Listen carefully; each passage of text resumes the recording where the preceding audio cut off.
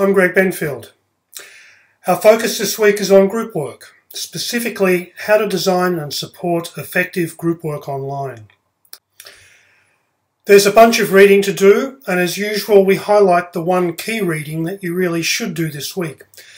Because we think that theoretical frameworks are important to understanding and analysing educational problems and contexts, and because we think you've probably already engaged with the Salmon five stage model as one such framework. This week we urge you to look at a different one, the Communities of Inquiry model. Specifically, we think it might be useful for you to think about the aspect of this model known as social presence. That said, we're pointing you to a number of easily digestible practical resources this week and I'd urge you to do more than just the minimum reading because this is a very complex topic and a week is a short time to explore it. Successful group work is underpinned by good design. Well formulated, challenging tasks for students to do. Clarity about why group work is important for the task and how the task itself relates to the learning outcomes of the course. Clearly specified outputs realistic timelines, effective group size and composition for the task.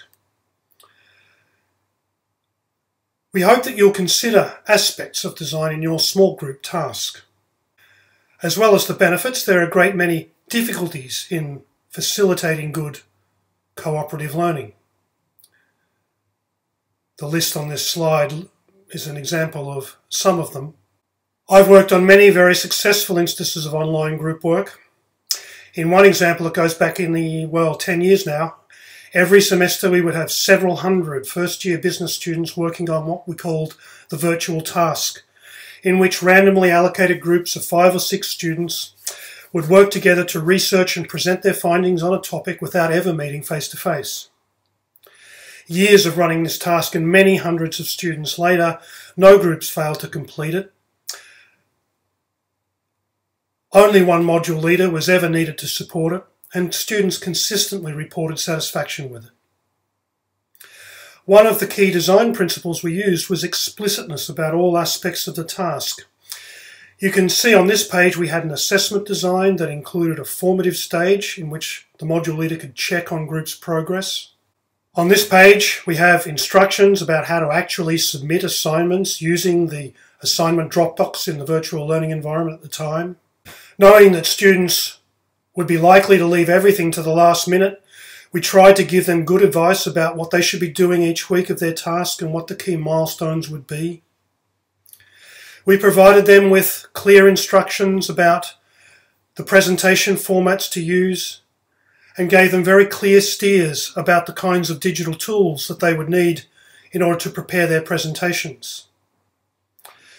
In other words, we tried to anticipate every problem that students might have in doing the task and provide them with answers and supports in their online environment. Other readings that you might find very useful are two resources on peer learning or peer review. One thing that online learning makes pretty easy is displaying student work to other students.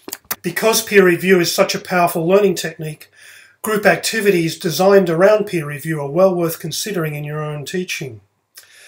This resource gives you some good practice guidelines and a theoretical framework to use in designing this kind of activity. The research is pretty clear that where a significant problem with group work exists, it's usually around group assessment. In the meantime, there's a useful leaflet about group work assessment that I would recommend to you in the readings for this week. No matter how good the design, group work needs to be supported. The week three reading on group development and team roles includes reference to Johnson & Johnson's seven conditions for effective cooperation. It's important to bear these in mind always when one is designing and supporting group work. Bye for now. I hope you enjoy the week.